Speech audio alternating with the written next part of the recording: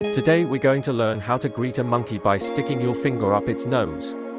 Yes, you heard that right. This is not a prank, but a real behavior observed in white-faced capuchin monkeys.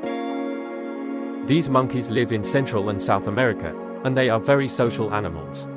They form large groups of up to 40 individuals, and they have complex ways of communicating and bonding with each other. One of these ways is by inserting their fingers into each other's nostrils. Scientists think that this gesture serves several purposes.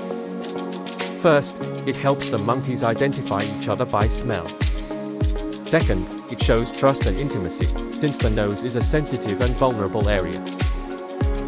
Third, it may also help them clean their noses from dirt or parasites. So, if you ever encounter a white-faced capuchin monkey in the wild, and it offers you its finger, don't be offended or scared, it's just trying to be friendly and get to know you better.